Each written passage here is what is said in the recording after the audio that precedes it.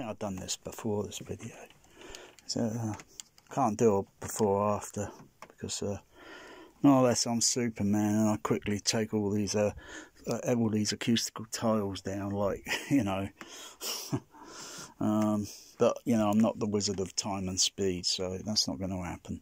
I have got other videos that I've got recorded a few years ago, different cameras or so, whatever, but I can still hear like, oh gosh, my room used to have a bit of a pingy echo. Yeah, didn't kind of like it. I, it's not only room. I used to have this room as a bedroom one time, and then I had home cinema in my bedroom because the walls were all equal shape because there is a chimney breast, so that makes problematics. Um, and that's easy to work out all the base and blah this blah blah black black sheep crying out loud. I'm not an idiot.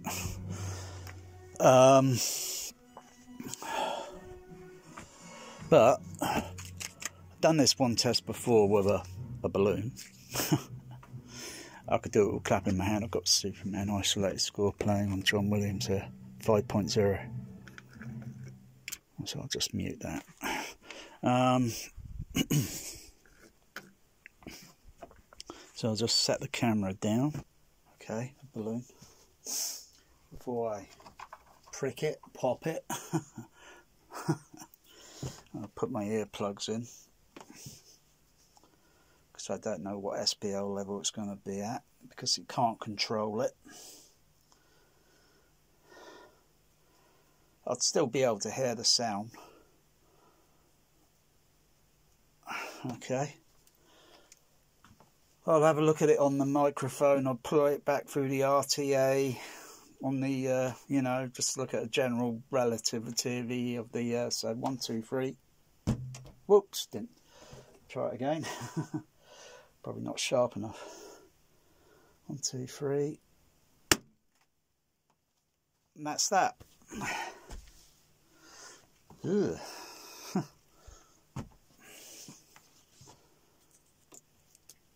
no, microphone's not being used. It's, not even turned on with the audio mixer. Just so I can just put something up there, hold it up. There we go simple. See a camera where it's placed is it's going to pick up sound in a room, is it from where it's placed. You know, this is just a smartphone. It's on landscape, so it records stereo. Here.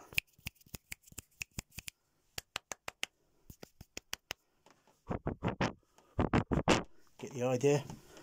When you put a camera phone vertical, it's only recording mono. I Guess a lot of people didn't know that. They're pretty stupid smart smartphones. Uh, they haven't got a whole lot on the damn thing you can do with. Might as well just use my Sony Handycam because then the upload will take a little bit longer because of the data megabyte storage and then but I could record either using the Panasonic microphone or uh, put it uh, in the uh, audio mixer and use uh, these Behringer microphones and I've got a bundle of them I've got about 11 of them I think I can multiplex the room, do it in, use the pan pots, do it stereo, whatever. I couldn't care less.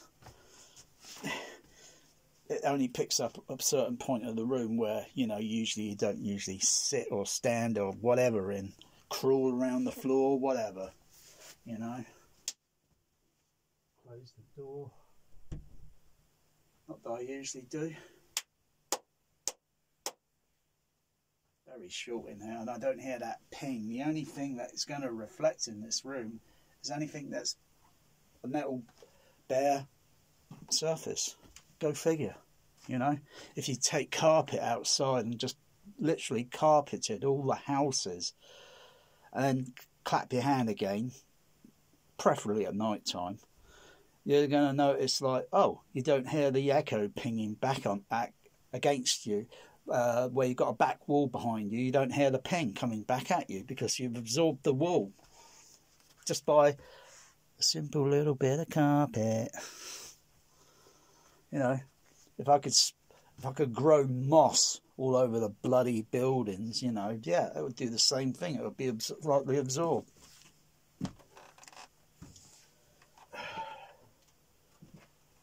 Uh, you go into a corner in a room, of course it goes booming, doesn't it? Got some bass traps put up in the corners. They only handle certain frequencies. I don't really give a fuck. As long as I don't hear slap annoying goddamn echoes in the room, I don't care. Do not care. Go at the front, boom, boom, boom, talk, talk, talk, talk, talk, talk, talk, one, two, one, two, one, two, talk, talk, talk, one, two, one. Sounds the bloody same almost. And, um, you know, I guess you didn't even know that you can even hear stereo with your own lips. Yeah, you just go like this. I can hear that moving from side to side, plus in head cavity. You want to talk, uh, want to keep on going down this road? I've been there, done that. You know, there's certain parts that, oh, good gosh, oh, look at that, oh, bare spot up there. Oh, oh well, I've got plenty of acoustical tiles. I'll just glue it, stick it in place.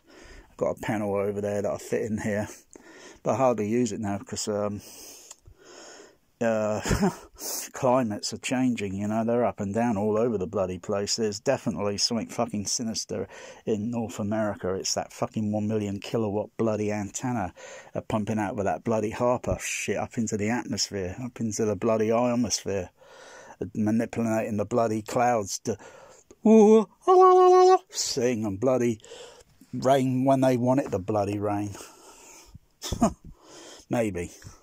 Oh, oh my goodness gracious, look, oh my goodness, oh, what a catastrophe. Oh, look, bit of wall there. Of course, I can easily go go from a bare wall, have a piece of piece of this, because skeptical at first, and most people would be. They're skeptical, like, mm, I wonder if this works or does anything, you know? Of course it does. Of course it flipping does. But if you're only going to treat part of your room and leave the rest bare walls and all that, for Christ's sake, you're going to hear slap ping echoes. You go in between those, between those, and then clap your hand. I hear it in a cinema downtown. I've got a video. There's some part of the cinema auditorium in one of the smaller screens where oh, I'm hearing a flipping pinging echo, really sharp, because of the how wide it is. Even though it's narrow, it's only about maybe about what, probably about 20 inches, maybe 25 inches wide. Also on the opposite side, and it's pinging and that's only a few seats uh, away. That's, uh, only like up here, so to speak. And then the first row seats, go a little bit further back and clap my hands, walk around the auditorium. You know, I could have done that in the larger auditorium and done that if no, you know, just wait for everyone to leave or get there early or just wait for everyone to leave the auditorium after the movies and then just start going around clapping my hand. You know, one thing they don't do in fucking cinemas today Odeon downtown, they don't play any non-sync music. Brainwash crap with a bloody 4K projector doing this image, you know, that brainwash you. Ah, with music going, bloody boring. Okay, now that's a lot. I tell you, cinema is the lost art of entertainment. I've been there, done it. Thank goodness it was the 35 mil days. Digital cinema, rubbish because it's just like the home. No if, no but, no debate, no vote about it. It's exactly the bloody same now. Sad, really, but um, there's only still a few real cinemas that are around, and you know, yeah. You want to catch aliens in 70 millimeter? mostly in six track format 42. Um, that would be just the same as as it would be on uh, the DVD, uh, Blu-ray, whatever it is, the uh, so-called uh, um, original theatrical version. Then you got like the the uh, the remix version, which would be the same as the AC3 Laserdisc. Uh, I'd have to check the AC3 again to see if they are mono or um, the same. Of course, you get some mixes that are and some that aren't. You know, other films and such. But any room's going to be reflective. I don't care which, you know. Look at all these typical home cinema seats today. That's a fabric. You look at all these other home cinema seats, and if I were to make certain sounds and move along, I'm going to hear reflectivity all over that seat. Um, typically, the the seat buckets are uh, the seats are always in a down position. They're hardly ever put up, but usually when they're in an up position, even THX requirements say that the uh, this part has to be absorbed. Because listen, hear that? That's not that, but if I were to put absorbent on that, it'd make a different sound. If I go up close to it and go and then put absorbent there and then again, it make that doesn't reflect. It's absorbed. It's what Tom Holman discovered with the baffle wall when he put it up. What the heck's going on? What's all this, you know, craziness going on in between the screen? He's got the baffle wall up there. You know, that's part of the uh, the pattern. Part of the uh, what makes the the magic reinforces bass, pushes more that low end out into the room. But whoa, whoa, whoa, what's going on? Oh, the sound's coming off, it's reflecting onto the the screen, bouncing back onto the barrier wall, and thus doubling the sound a little bit more, and you don't want that. And it's all oh, absorb it. Sorted. That's the trick, you know. And of course, you got the you got like say typical Dolby CP 200, you know, in some cinemas. Yeah, how many how many home cinemas have got one of these? Very few, I can tell you. If I listed that, it costs way more than a hundred Trinnovs. Oh, price would be astronomical. Hence, not for sale. After one of those for a long time, and of course the THX sound system.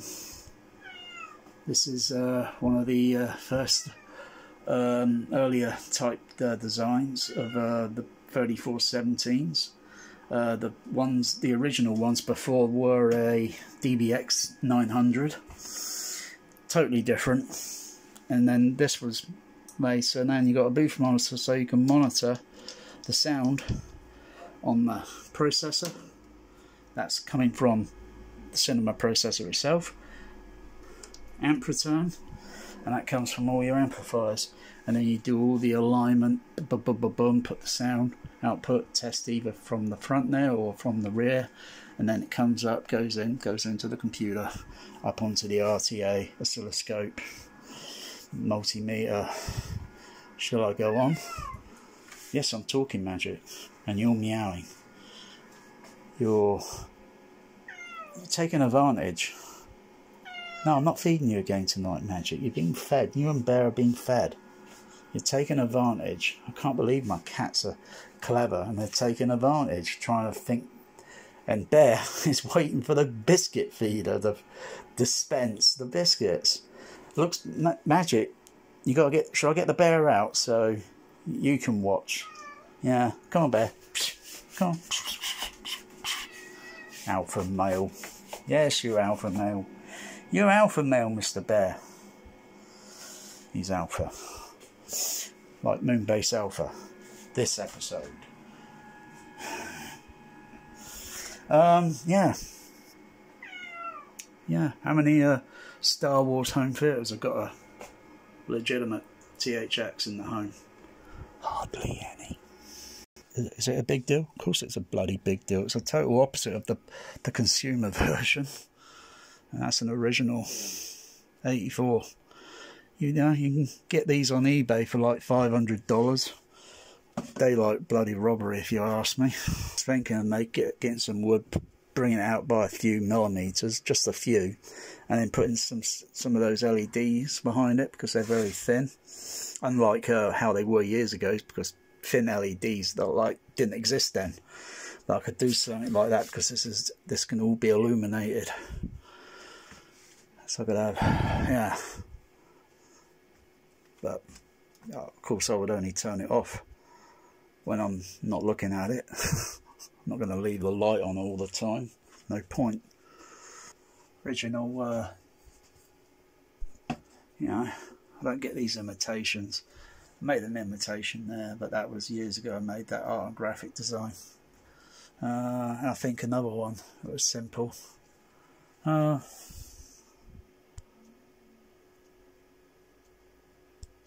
You want to see a trick? Look at that. Isn't that cool? You get reflectivity.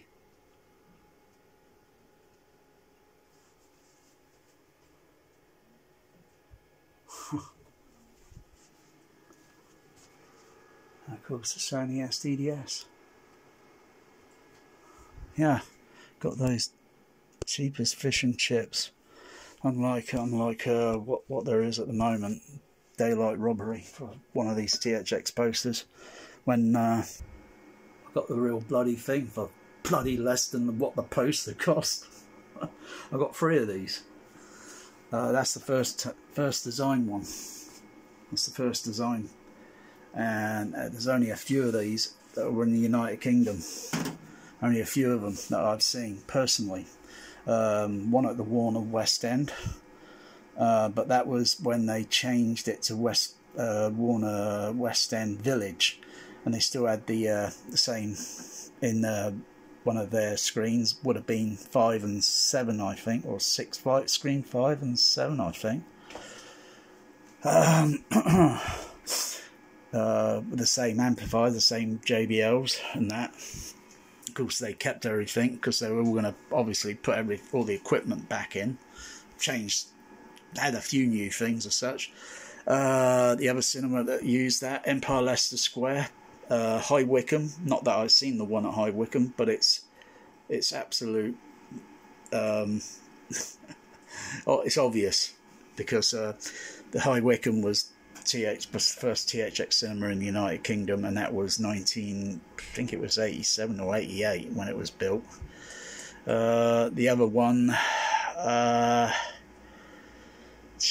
uh, Warner UCI, uh, uh, um, yeah, High Wycombe, Empire, Warner, Warner, five, that's five. Plus, there might have been a few private ones. Uh, not even the one at Planet Hollywood because that used a totally different THX design. That was a light, uh, a 90, uh, early or early 1990s uh, design because the badge design changed from that to that sort of. it's a little bit larger in the letters, but oh, been after this one. Uh, and they got all the original cards, all the original THX cards. And these cards normally would have had to been uh, returned back to Lucasfilm because they were only leased. You can buy the THX monitor, but the cards were leased, meaning you got to send them back after. Your cinema is no longer THX, but I don't think anyone wanted to care to send them back. it's it's a, it's a prize. It's a prize. So if I just turn them off.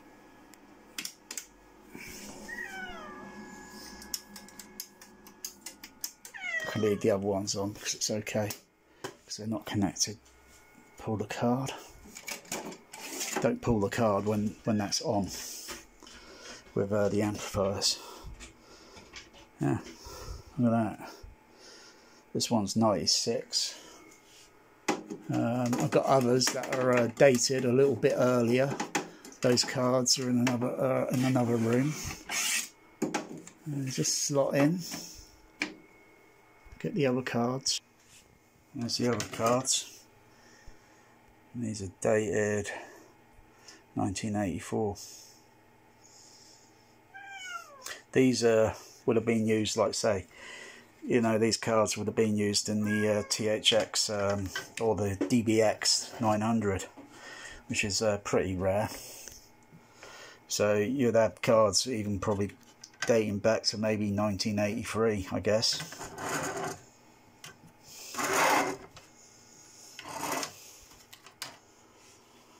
So that's pretty early stuff that You know, I'm kind of like Indiana Jones looking for rare THX antiquities. And uh, everyone else thinks they're into THX, home THX and all that. You're not dedicated enough. If you were dedicated enough, you'd have one of those. Trouble with um, THX is most people associate it straight away with Star Wars. They associate it with George Lucas and Star Wars and think, oh, they, they got to have it. But sad thing is, most of those people have probably never been to a THX professional cinema. So they got no idea what they're getting themselves in for. I talk bass and all that. You want to keep on going, huh? How about Sensurround? I've experienced Sensurround five times. Four times with Earthquake, 70 mil, six track. Once with Battlestar Galactica, ended up with tinnitus because of the bloody usage of the Sensurround. My tinnitus is on and off on most days. It's pretty soft at the moment. In prep, don't notice the pressure. Usually it's centered around somewhere. it Could be around in the maybe peak around eight kilohertz range. So it can go from that sort of soft level and then go up. How high? In measured in air with a microphone, if possible. Probably maybe about maybe 45, maybe 45 plus dB. But when it's continuous and it follows you everywhere, you know, hey, I'm following you. yeah. For some people, they don't want to know. They want a cure. That's all that. They can't deal with it. And most people end up trying to commit suicide.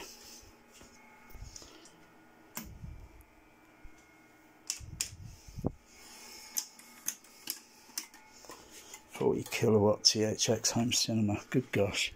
That's more than my bloody CB radio base station puts out. My, my base station only puts out a max 200, 120 at most, but yeah, I think again, again a powerful, um, maybe a bigger linear amplifier, maybe half a kilowatt. That'll only give me a few dB more extra gain, maybe to you know, but hey, if I can get over to the United States on 120, that's not too bad. On a busy day, that is, mind you. uh, yeah. Yeah. You don't need to spend millions on a home cinema. A practical, real cinema wouldn't even cost that. Not even today. Well, actually, that's a that's a lie. Actually, because um, they were saying that they were going to say that digital was going to make things cheap. Thirty-five digital, in a way, yeah, that made things cheaper, because seventy mil prints were extremely expensive, about 16,000, 16 grand, compared to a thirty-five, and you can do, gosh golly, you can do all the printing on that, and then you end up with multi, multi, multi soundtracks on it. So you've got multi-tracks, DTS, SRD, SDDS 68. Crying out loud, you got all that on 35 mil. Crikey. Um, but you get to like now, what it is now, all this digital 4K garbage trash. Oh my goodness gracious. 35mm projectors. Oh, the first one I ever worked on. That cinema, Cinemeccanica Victoria 5. Very nice projector. I, I was offered one for about £250 one time. I should have took the offer up. But that means really doing over the top in the kitchen. I'd have to have two port windows. It would be, nah, nah, ain't going to happen. Even though the lamp house would have been smaller size because I don't need a, a 1.5 kilowatt lamp Xenon. I only need a s- several few hundred is enough. Um, and of course, the the, the phase, uh, the the, uh, the phase thing uh, would be different. So it work on the conventional, you know, household one. Of course, normally it's uh, I think it's about four four hundred something plus volt. Um, yeah, I could have gone that route, but I know what films. I know what film is. You've got to have it preserved in a room under controlled temperature all year round. Otherwise, if it gets too much humidity or too much temperature or too cut, it can it can yeah you'd end up with something useless then. Um, it's a gamble, know, and I'd rather not. So I thought, you know, I like sound systems. I like the sound things. That's what I like. Every projectionist is different. Some like ampage, current, voltage. They're into that sort of thing. Others like collecting posters Others just like um, other sort of memorabilia. Uh, others like um, to actually get the whole damn thing, you know, and put it in the home. Um, everyone's different in that sort of field. Others just simply give it up, turn their back on, and move on to other things. But you don't have to spend uh, $1 million on a Star Wars home theatre, you know. There are ways of making aesthetics and look like a, you know, there are ways around that make it very cheap. And, you know, when you go around and tap on it, it's like, oh, it's made of wood. It's not metal. It looks like it because it's sprayed and makes it look like that. What do you think movie sets are done, for Christ's sake? You look at all those designs that um, uh, the set designer did for Star Wars, a different set designer for uh, um, John Barry, I think it was, a set designer of the, uh, you know, other movies he's done, and you know all those designs. Wow, and he, he sadly passed away. Uh, and then other set designs for like I think Empire looks pretty cool with the way uh, things are shaped and designed on the Cloud City. They look really cool, and but you look at it and think, well, it's got to be made out of wood, or maybe a bit of uh, something. This it can't be made out of, you know, because they're taking their budget up too high. You know, things have got to be done cheap, make it look like it cost the Empire trillions of credits. I don't want to do my home like a movie theme. Batman, Superman, Star Wars, Star Trek. I don't want to do it like that. What? What the bloody hell? Am I going to play Star Trek all the time? Even though I do. But I don't do. I've got something in mind. I need to draw it, and then I need to find someone that can to put then all the dimension now dimensions down, and I will select all the materials for that for someone to fit it because I'm not really into it myself. And then just have something put in the room and have it totally different to what it is. Um, and I think realistically, it would probably cost with labour. I think realistically less than one thousand. So under a thousand. So it could be under five hundred. It could be under four hundred. It's just getting the materials and certain materials and utilizing it for a specific purpose and make it look like wow. That's that's all it is. What do you think? All these bloody, you know, crying out loud. If they can build the pyramids in a movie and then use a backdrop, uh, matte painting, or digital CGI thing today, you know, even though I prefer the originals, they, they look pretty damn good even though you can tell it's synthetic. But some of the ones that, mm, oh, that's CGI. Wow. Is that CGI? Really? Bloody hell, they done a flipping out. That's really done good. You know, better than, you know, something that, oh, crikey. This Marvel movie, Garbage Trash, really does look CGI because seeing all what's going on here, that's that's totally unbelievable and you know that's all CGI because you know you can't do that in reality. so as long as I've got no echo in this room, oh, bit of bare wall down there, but hey, um, bit of bare wall over there, almost like a cinema actually, like a UCI. Actually, it was uh, more or less uh, up to about this height, I think. Uh, seated height, it'd be about, about a bare wall. Uh, everything going upward to the ceiling would be absorbent and then uh, you got the ceiling tiles, and that would have a certain absorbent property um, with it. And um, all this thing about bloody making the room black, and all this like, you know, you got the black border stuff that goes around the actual screen thing, yeah, itself. Why not just use that material and just plaster the wall and ceiling? You got to get more or less the same, similar with a carpet, you know, and then bam, Oh yeah, I see all these fancy designs with uh, all these twinkle twinkle little star. How I wonder what you are. Oh, I've seen all that, and I think, yeah, I could do that. I could do that. Only I would go a lot more further. I would go way, way, way further beyond all that. Uh, I've seen what a planetarium looked like years ago. Um, that was impressive. Uh, if I were to look at it today, I would be more fascinated with it, more more interested, because I, I like astronomy. I like looking at. Uh, once a friend showed me where Orion was with my telescope. Um, Orion, wow, wow, that was real. Like that's like high definition. I'm looking at. That goes way beyond 4K Blu-ray disc and shit. You know, I can actually see the sh- like a dust or a, a texture, and even though it's black and white because of the distance and you get that flicker occasionally because that's the atmosphere doing that. You go beyond that, you don't notice that. That's why the Hubble looks so sharp because you, know get the flicker. You got to have a, a, a observatories uh, very high. I think there's some maybe like Hawaii and they're pretty high altitude, and you get minimise the flicker effects as such because of the atmosphere. anyway, I'm done rambling. All right, so I'm not, um, you know.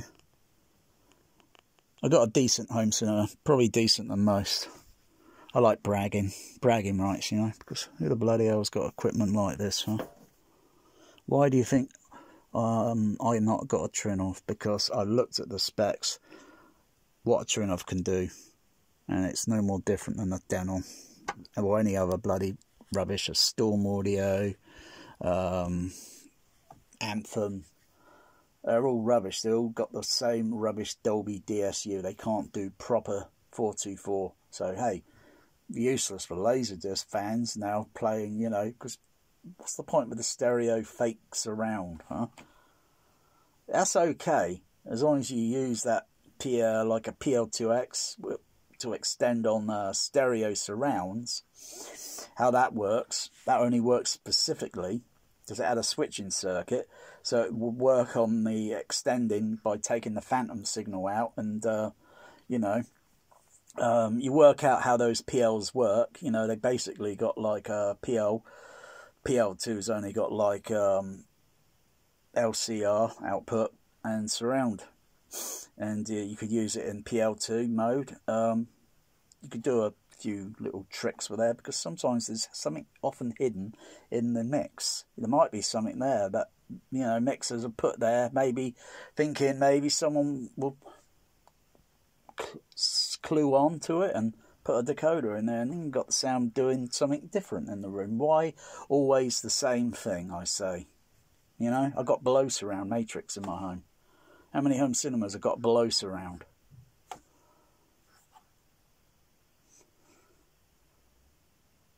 I don't think uh, I, I can't think of any. Not the Americans, not even Dolby Labs in London, and certainly not the Chinese.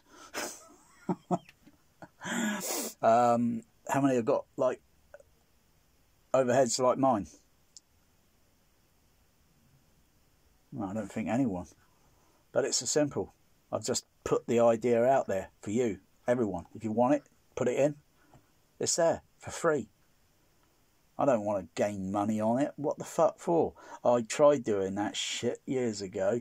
Um, I should have, if the internet was a little bit more wider base with forum sites back in the late 90s, I would have shared it on the internet on a forum site.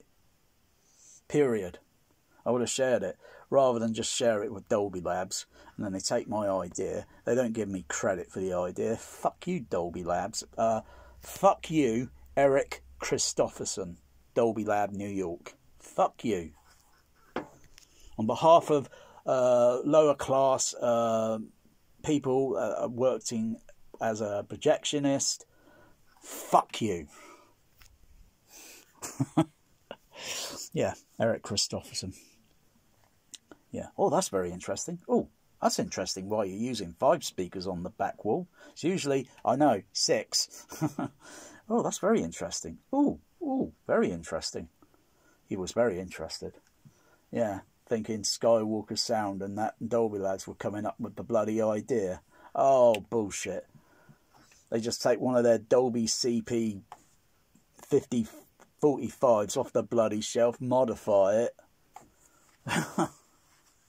And then, then, of course, everyone knew there was a Star Wars movie coming out. And then something else is announced. Oh, new Star Wars coming out. Oh, with new sound system format for Jar Jar Binks. He's the Phantom Menace. But hardly heard him going whistle, whistle, wee in the bloody back surround. Very disappointing. Um, yeah, yeah. the idea came to mind 1989 while I was at UCI Cinemas, looking through the projection port window, listening on the booth monitor, switching through the booth uh, cipher buttons, and like uh, listening to the Matrix because I've already heard something at uh, the Empire and the, the, other local cinema, and um, the stereo surround kind of it was it was bothering me a little bit, disorientating me sort of, and I'm thinking there's something there it it sort of made me a little depressed. Kind of like in a way, I suppose you think George Lucas how he felt depressed when he heard The Empire Strikes Back at that cinema. What the fuck? This isn't what we mixed. What the bloody hell's going on there? Help me, Obi. Tom Holman. You're my only bloody, uh, you know. He had to go through white papers, consulting with other people. He had to go through everything microphones, everything, how things recorded, how on set and on dubbing stage. Oh, crikey. To put what is, what was a mess and put it right, sort it out. And then everyone then want everyone else, wow, wow, we want it. And then they put it in the cinemas, don't they? and Tom Holman um, has uh, mentioned to me. Oh, obviously, I must be typing, talking with him. Uh, he mentioned that um, he was working his ass off like 20 hours, ridiculous, trying to get the THX up and running, you know, because it was early days sort of thing, if you think about it. Learning and getting it up and tuning and you know, and I've been to some of those good THX sound system cinemas, and they are bloody out of this world. High Wycombe, awesome, awesome. And as long as you know the, they meet the standards, you know, and how much bass ever, whatever you want to put into it, that's up to you, I suppose. You know, how it was at High Wycombe, flipping heck. It it would blow mine away, of course.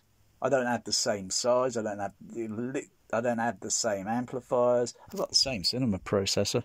I've got the same THX. I got don't have the same acoustics, of course. I don't have the same screen JBLs. I've got some parts of the the components that are.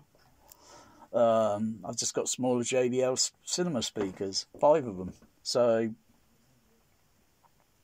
uh, Empire Leicester Square, and all that was put in by Bell Theatre Services. Um, I'm not sure about the Warner. Maybe they were. Maybe it was another supply cinema uh, installer. But uh, Wycombe and Empire, wow, even though Empire had a bit of an echo on it, um, it was still way better than I was listening to other movies in other cinemas that I've seen the same movie over and over. Star Trek's, oh wow, out of this world. Is that what I've been missing on the soundtrack? I didn't even know it was there. Wow. Not only hear it, I feel it. Directional bass? Wow. Cool. And bass that just goes so damn hard, I was willing, hoping this system would just crack up at some point. It just kept going because the way it's tuned and the way the dynamics are going to be playing at um, HF horns didn't even make my ears hurt. They were loud, exciting, but not harsh. Where they're just, you know, it's like, you know, you got unlike some, you know, because I've heard the the 50 say 56k kilowatt at the Empire, THX certified, not like the original THX 89 version JBL even though everything was JBL, it was just top end. It was just mid, mid and HF, HF horns behind the screen, and of course you got to then balance that level into the surrounds. It was just, ugh, they ruined it. Um, the, the other one, the original, was way better. Had more bass. Had way, way, way, way, way, way more bass. So you feel all the foley punches all the details. Even Mr. Spock in Star Trek 2, when he walks up to the door, when Captain Kirk is standing behind the transparent door, and then walks up and then bumps against it. Boom, I feel that in my chest. Yeah,